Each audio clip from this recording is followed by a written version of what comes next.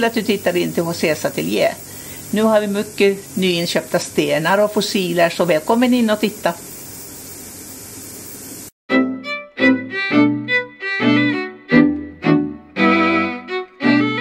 Fortsättning följer nästa vecka. Hejdå! Tore Bitvätt har sommarpriser nu under hela sommaren. Vi erbjuder från den lilla tvätten till en liten och stor rekond. Vaxning, polering, lackförsegling, keramisk behandling, vaxning av husbil, husvagn, ja allt inom bilvård. Så ring oss gärna på 070 571 7000 eller boka en tid på torebitvätt.se. Vi finns ju nere på Spjutvägen 3 i Draget, port 23A. Så du är hjärtligt välkommen. Så ge din bil, eller husvagn eller husbil, lite kärlek. Vi hörs. Tack ska du ha. En trevlig sommar. Hej då!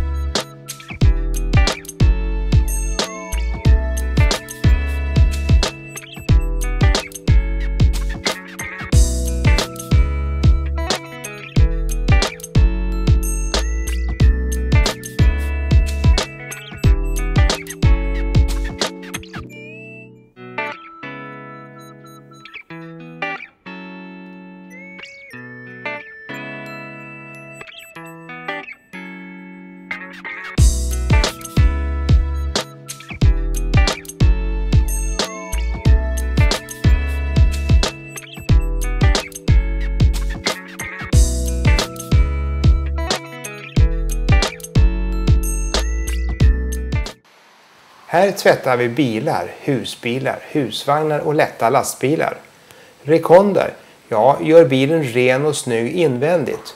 Nu utför vi även klädseltvätt och skinnbehandling. Alltså gör skinnklädseln ren och smörjer in den.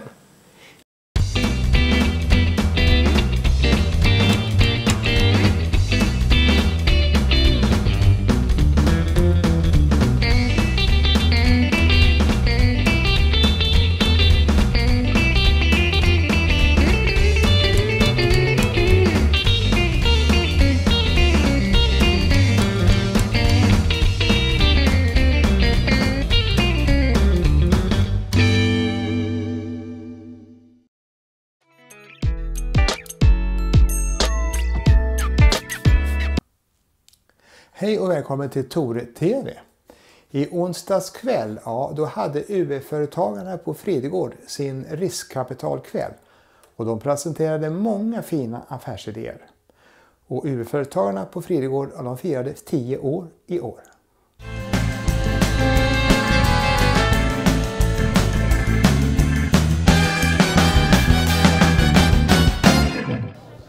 Vad har ni för idé på företag här nu? Eh, Vår idé är eh, marknadsföring. Vi håller på med profilreklam.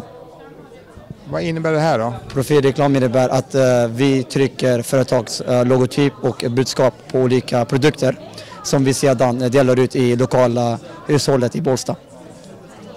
Hur kom ni på idén?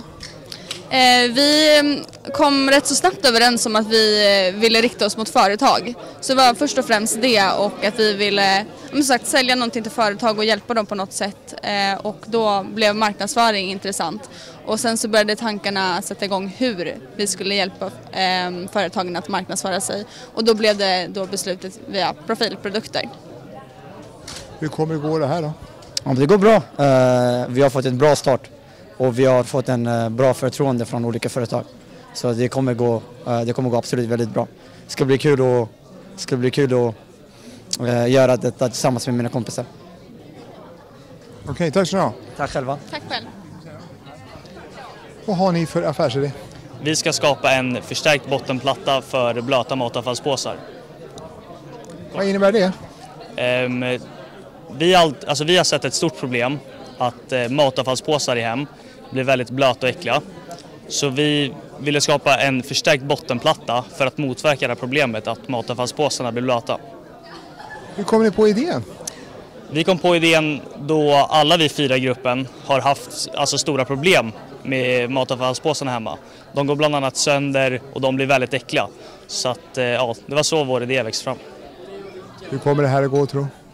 Jag tror det här kommer gå jättebra. Vi får hålla tummarna. Tack så Tack själv. Tackar, tackar. Vad har du för affärsidé? Jag har en affärsidé jag ska sälja bilprodukter um, i en e-handelsbutik på nätet. Um, och jag kommer därför att erbjuda runt 25 produkter i slutet av UF-året. Ett ganska brett och uh, generellt utbud. Vad innebär det här nu? Vad det innebär affärsidén? Ja, men det är att för det första så kommer det vara ett ganska stort utbud så det kommer ju också vara många produkter som kommer köpas in.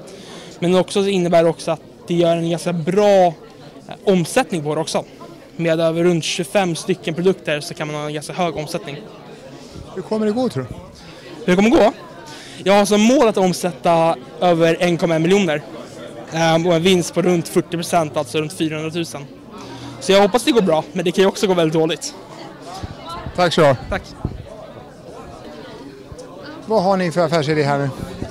Vi säljer monsterspray och en barnbok. Och då är den till för att barnen ska få spraya bort monstren under sängen våga sova gott. Mm. Vad innebär det här då? Jo, alltså vi, först ställer vi en nattningsbok som man läser när barnen ska gå och lägga sig. Och sen har de en spray om de är rädda för monster och inte vågar sova. Då gör de spray bort monstren och sen är de borta. Hur kom ni på idén här? Ja, det var, vi gjorde en affärsidé förra året för våran eh, ja, ekonomi... Ekonomi klass. Ja, och sen så blev det bara att vi ville köra det igen för att våra lärare tyckte att det var så bra och sen fick det det. Det blev det. Ja. Hur kommer det gå då? Eh, ja, ja, det kan man inte säga nu men det, vi hoppas att det kommer gå bra. Tack ska du ha nu. Tack, tack själv. Vad har ni för affärsidé? Eh, vår affärsidé är en kalenderapp med spelfunktioner och fysiska aktivitetspauser. Vårt företag heter YouCoach och vår kalenderapp heter Pomodoro. Och den här appen bygger på Pomodoro-metoden. Det är alltså ett forskat bevisat koncept för hur man kan bygga upp studiemotivation bland elever i ung ålder. Vad innebär det här då? Det här innebär att vi, vi jobbar helt enkelt med två globala mål, hälsa och välbefinnande och god utbildning för alla. Vi vill skapa förutsättningar för elever med olika behov och förutsättningar att kunna lyckas i skolan och eh, må bra i skolan. Vi ser att psykisk ohälsa ökar i allt större utsträckning. Eh, vi ser att även tjejer drabbas av psykisk ohälsa, eh, mer än killar. Eh, och det här är ju ett stort samhällsproblem så att vi, eh, vi har väldigt höga ambitioner och eh, det är främst de frågorna vi jobbar med i vårt företag. Hur kom du på idén? Idén grundar sig egentligen i att eh, jag har en lillebror som har autism. Han har det lite svårare i skolan och eh, jag funderade en kväll på hur jag kan hjälpa en person med annorlunda behov att även eh, ha lika, eller få bättre förutsättningar att kunna klara av sin utbildning till exempel eller att det handlar om att ja, man helt enkelt ska hålla att hjärnan ska orka med skolan, för det är väldigt tufft. Jag som elev kan också relatera till många av de eh, samhällsutmaningarna vi ser idag i skolan. Hur kommer det gå tror du? Förlåt? Hur kommer det här att gå? Ja, jag, jag samarbetar ju med en programmerare, en spelutvecklare, otroligt eh, kompetent. Sen har vi även fantastiska rådgivare, bland annat vår förra digitaliseringsminister eh, som är väldigt, väldigt bra på att eh, ge tips och råd helt enkelt på hur vi ska tänka och utvecklas i företaget, både som företagsägare men även som företag i stort. Okej, tack så du ha. Tack själv! Bra, mycket bra. Hur kom ni på idén? Ehm, på de senaste åren så har vi märkt att många utav våra vänner och vi själva har börjat köpa mer second hand och att man kan hitta mer unika och roliga plagg då. Eh, och då har vi känt oss väldigt inspirerade av det och att det är kul att handla second hand helt enkelt och det är även bättre för miljön så det är väl anledningen till att vi kom in på det spåret. Hur kommer det här gå tror du? Jag tror att det kommer gå bra. Ehm, Den globala marknaden för second hand förväntas ju växa och eh, jag tror att vi också kommer kunna växa ganska snabbt. Okej, tack ska du ha. Tack själv! Vad har ni för affärsidé? Vår affärsidé är att sälja mjukiskläder till eh, killar och tjejer. Hur kom ni på idén? Eh, Vi kom på det genom att eh, vi alla är intresserade av kläder. Och sen så ville vi göra något som vi alla tyckte var kul och vi kände bara att det är värt att ta risken, så kör vi på det här. Kommer det gå bra? Det kommer gå bra. Jättebra, tack ska du ha. Tack själv. Vad har ni för affärsidé här nu? Vi skapar metalltavlor där kunden får skicka in ett eget motiv så skapar vi åt dem. Vad innebär det här då? En kund skickar in vad de vill ha på sin vägg möjligen. Så kan vi då skapa det åt dem. Den här tavlan. Hur kom ni på idén? Ja, det var faktiskt, vi alla kom på, men det var just Felix här som kom på tanken att han ville, han ville skapa det bara. Tagit inspiration från ett ställe. Kommer det gå bra? Såklart det kommer gå bra. Tack ska du ha. Bra. Vad har ni för affärsidé? Vi säljer en eh, innovativ eh, gymprodukt som eh, löser problem med när det gäller att sänka vikten medan du kör. Helt enkelt. Vad innebär det här då? Eh, Det innebär att du kan göra ett så kallat dropset, vilket betyder att du sänker vikten medan eh, du kör. Du sänker vikten successivt utan att vila helt enkelt. Och eh, för att utföra det utan den här produkten så måste du manuellt gå bort från maskinen och byta vikt till en lägre, sen fortsätta köra. Men med hjälp av den här så behöver du, du behöver bara sänka ner vikten så kommer vår produkt göra att viktminskningen sker automatiskt. Så ja, hela körningen blir mycket effektivare och enklare. Hur kom ni på idén? Eh, Vi har sett att den här produkten har blivit populär i exempelvis USA, men eh, den är väldigt unik i Sverige.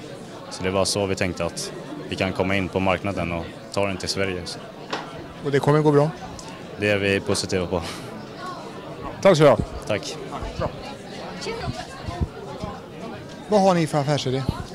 Vi gör eh, kortlekar med lagfören eller lagens bilder på helt enkelt. Lagbilder som de sen säljer vidare för att kunna tjäna pengar. Vad är syftet med det här då?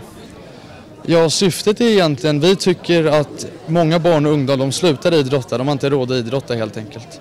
Så vi vill hitta på ett alternativt sätt till lagförsäljning för att inkludera alla så att fler ska kunna idrotta helt enkelt. Hur kom ni på idén? Det har funnits en del tidigare varianter av det här med kortförsäljning som innebar, innehar liksom lagsport. Men vi tänkte att vi ville göra en, en alternativ på det, någonting annat, någonting nytt. Så det, vi kombinerade egentligen bara ett helt gäng olika UFD. Och det kommer gå bra? Det kommer gå bra. Ja, bra, tack så. Tack, tack.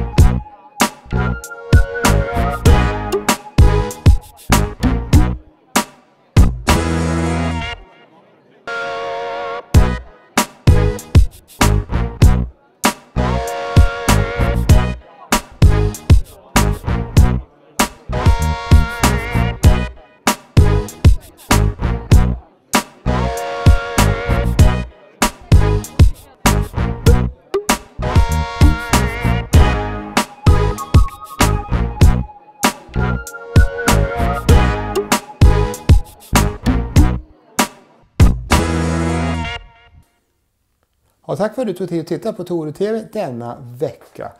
Den här sändningen finns ju på Youtube, Tore TV, eller Facebook, Tore TV, eller min hemsida toretv.se. Och på måndag, ja, är jag tillbaka i ett nytt program igen. Tack ska du ha, hej då!